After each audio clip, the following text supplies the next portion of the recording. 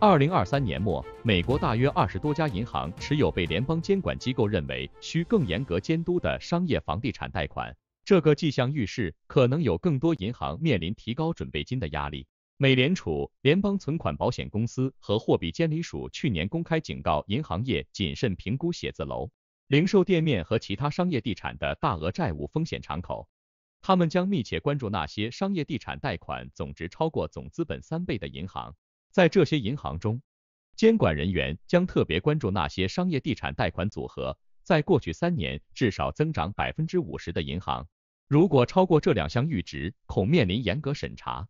近期股价暴跌的纽约社区银行是目前接近该门槛的最大一家，但许多规模较小的银行可能越线更厉害。乔治亚州州长布莱恩·肯普二月十四日表示，将向德州边境派遣更多国民警卫队。来协助阻止美墨边境的非法移民越境。肯普表示，如果拜登政府在移民问题上继续让美国人民失望，乔治亚州别无选择，只能介入。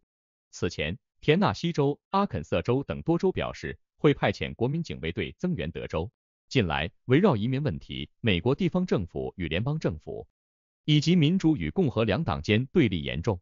上个月，美国最高法院批准了联邦政府的一项请求。允许联邦边防巡逻队拆除德克萨斯州边境部分铁丝网，不过德州方面态度强硬，该州国民警卫队拒不服从最高法院和联邦政府的命令，反而设置了更多的铁丝网，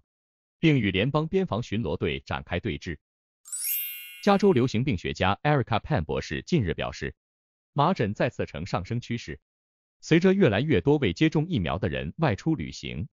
医生应警惕麻疹症状。因为他们有可能将这种传染性极强的疾病从麻疹较为常见的国家带回来，然后传染给这里未接种疫苗的人。加州最近一次麻疹病例大幅增加是在二零一九年，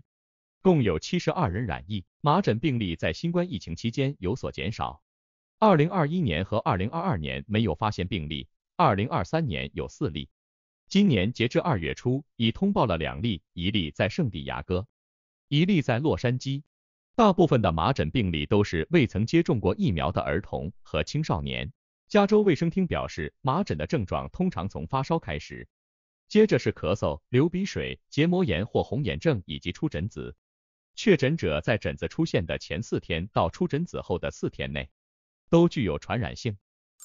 香港特区政府二月十五日公布推出二零二四年度大湾区青年就业计划，鼓励企业提供职位。自二零二四年度起。计划除全年接受企业提交职位空缺及合资格青年申请职位外，亦引入灵活措施，容许企业按业务需要申请延长将青年派驻回港或到大湾区以外内地城市工作，以及聘用曾任职实习学员职位的合资格青年。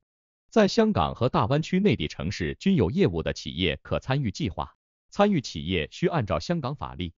以不低于月薪一万八千港元聘请合资格青年。并派驻他们到大湾区内地城市工作及接受在职培训。政府会向企业发放每名受聘青年每月一万港元的津贴，最长为期十八个月。企业可由即日起提交职位空缺，有效期至十二月三十一日，聘请香港青年到大湾区内地城市工作。参加计划的青年必须为香港居民，可合法在香港受雇工作，并于二零二二至二零二四年获颁学士或以上学位。